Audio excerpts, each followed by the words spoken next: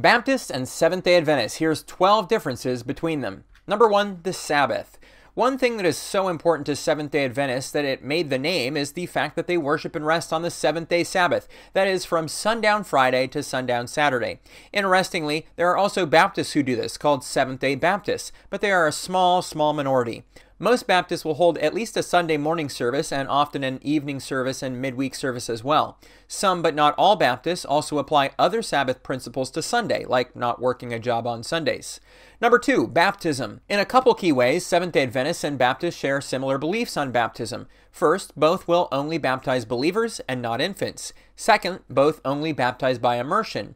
Where they differ is in the role baptism plays in salvation. The SDA view is that baptism is part of the plan of salvation. For example, SDA pastor, evangelist, and radio speaker Joe Crews, in his book Baptism Is It Really Necessary, says one can confidently conclude that if a person has the opportunity to be baptized and refuses to be, that man cannot enter the kingdom of heaven. Number three, eternal security. While we're on the topic of salvation, let's discuss eternal security. Can a person once saved forfeit that salvation? Today, the majority of Baptists say no, like Reformed Baptists, most Southern Baptists, and most Independent Baptists.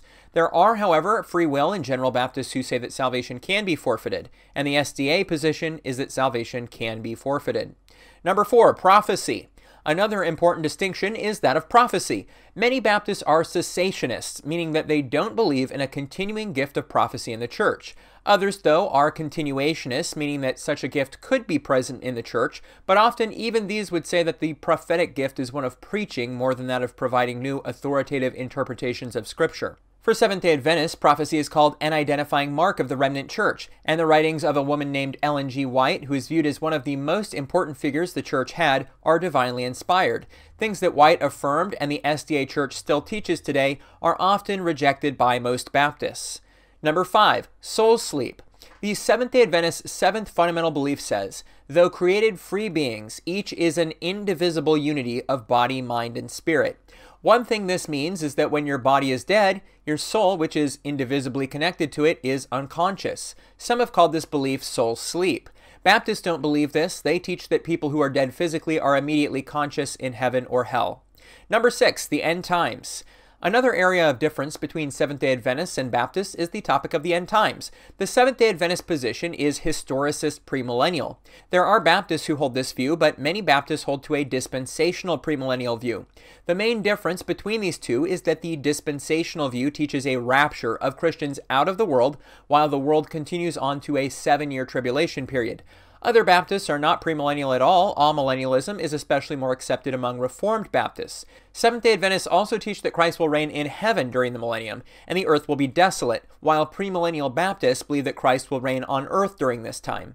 In addition, Seventh day Adventism has some dates that Ellen White identified that Baptists don't believe in. For example, Ellen White wrote in the book The Great Controversy that the description of the stars falling in Revelation took place in 1833.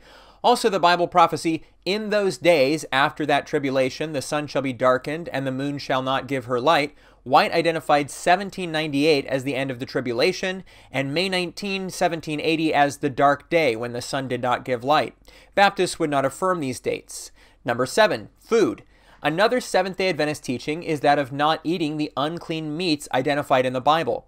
Baptists teach that the unclean food restrictions are done away with in the New Testament.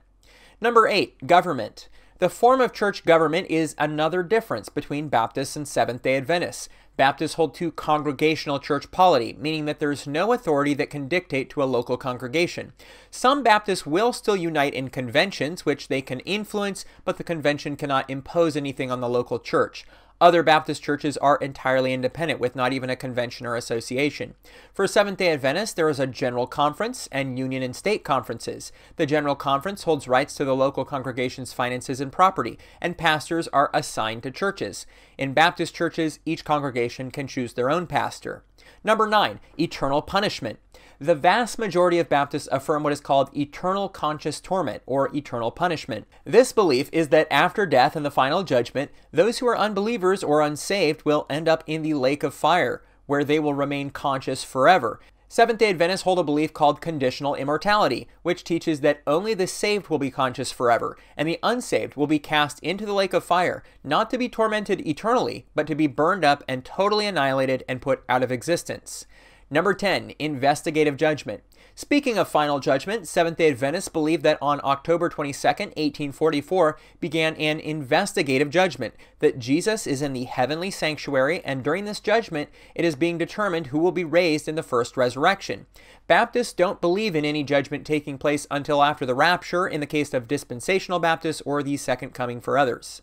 Number 11, Mark of the Beast. Baptists have varying views on the coming mark of the beast. Is it a physical mark that will be enforced by a literal person who is the Antichrist? Most Baptists would say yes, with the amillennialists often saying no.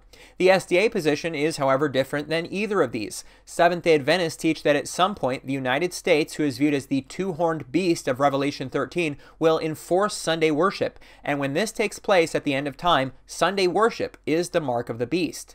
Number 12, the health message. A unique aspect of SDA teaching is their health message. Ellen White wrote quite a bit about the church focusing on people's physical health, and this emphasis remains today. Many Seventh day Adventists become vegetarians or pescatarians and try to follow healthy living habits. Churches have ministry leaders focused on promoting these healthy living practices in the church. Of course, Baptists aren't in favor of unhealthiness, but it must be said that there's no such emphasis on physical health in the majority of Baptist churches. Another difference is the SDA teaching on who Michael the Archangel is, the question of the remnant church, and last generation theology. If you want to learn about these and many other beliefs of the SDA Church, click here to watch the video, What is the Seventh day Adventist Church?